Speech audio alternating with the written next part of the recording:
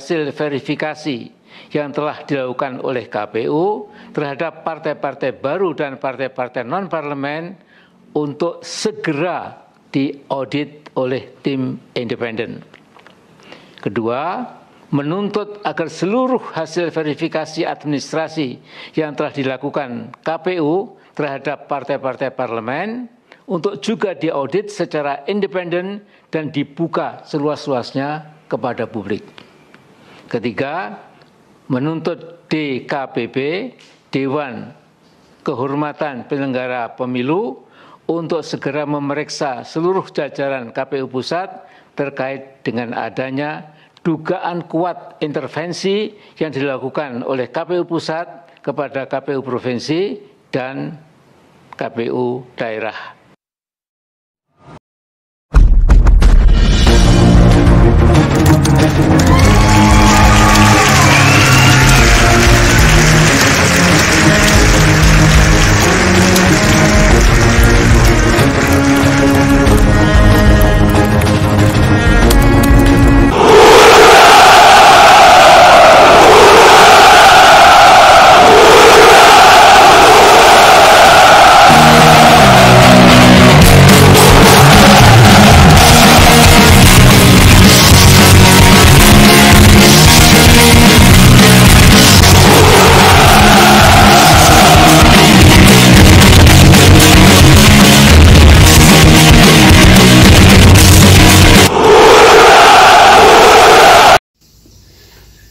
Assalamualaikum warahmatullahi wabarakatuh. Om Swastiastu Namo Buddhaya Salam Kebajikan. Salam Rahayu, selamat datang, selamat berjumpa lagi bersama Gus A dalam channel Tanda Tanya Politik Semakin Gila Semakin Asik. Saya terkejut bro. Partai Umat tidak lolos verifikasi untuk mengikuti pemilu 2024 Kok bisa gitu ya? Partai umat yang dipimpin oleh Amin Rais yang notabene katanya Bapak Reformasi yang sudah berganti menjadi Bapak Provokasi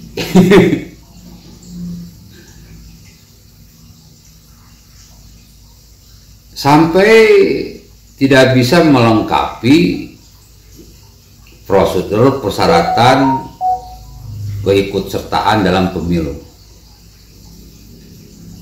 Memangnya kurang dana,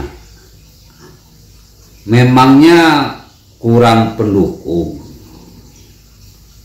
Ya kalau kurang dana dan kurang pendukung memang wajar Wong rakyat sudah cerdas kok.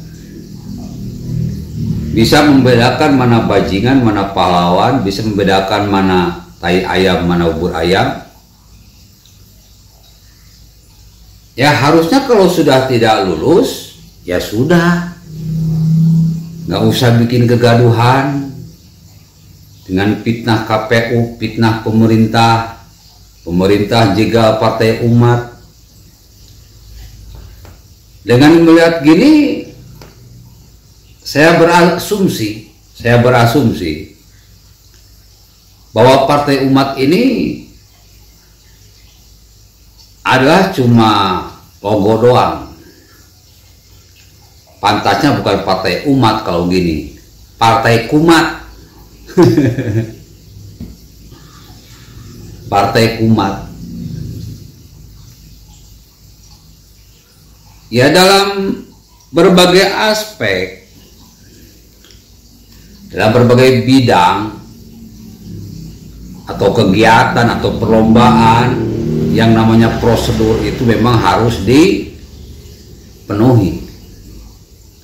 Mau ikut apa pun yang namanya prosedur itu harus dipenuhi. Kalau tidak memenuhi syarat ya legowo dong jangan caci sana caci sini caci KPU caci pemerintah. Bikin fitnah sama KPU bikin fitnah sama pemerintah. Ah cemen lo.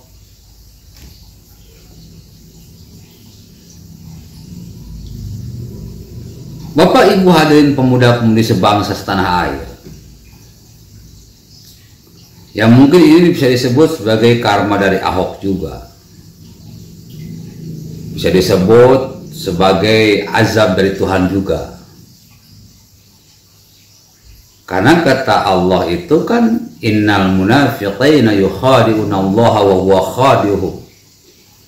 Sungguhnya orang-orang jahat, orang munafik kayak Anis kayak Amin Rais dan kawan-kawan ini sekarang itu sedang dikalahkan, dihancurkan oleh Allah karena memang mereka itu agamanya cuma cangkang, cuma tipuan. Bikin partai partai umat. Umat mana? Umat setan umat iblis umat genderwo umat tuyul. Nggak jelas itu partai umat. Umat yang mana? Sesuatu yang tidak jelas. Maka itu sesuatu hal yang disukai oleh setan di partai umat umat mana nggak jelas Arti ini bukan partai umat, partai setan. Karena segala sesuatunya tidak jelas. Ya kalau sudah gini kita bisa melihatlah kapabilitas, kualitas dari dari Amin Rais dan partai umatnya. Dan kita bisa menyimpulkan mereka-mereka cuma provokator. Amin Rais tidak pantas disebut bapak bangsa partai umat. Tidak pantas untuk dijadikan partai. Seharusnya kan kalau misalkan persyaratan harus dipenuhi dalam jangka waktu tertentu segera bukan bikin kegaduhan di sana sini ingin didengar oleh pemerintah mendapatkan keringanan, mencari popularitas dengan cara-cara yang picik, munafik, licik. Cara yang dilakukan oleh Amin Rais dan Partai Umat ini ya cara-cara yang licik, picik, munafik. Dan saya harap KPU nggak usah tanggapi lah. Kalau sudah tidak lulus ya sudah tidak lulus. Nggak usah dikasih negosiasi, nggak usah dikasih waktu lagi sudah. Tegas saja. Kalau lembek orang-orang kayak Amin Rais dan kawan-kawan ini nanti ujung-ujungnya nginjek kepala. Assalamualaikum warahmatullahi wabarakatuh.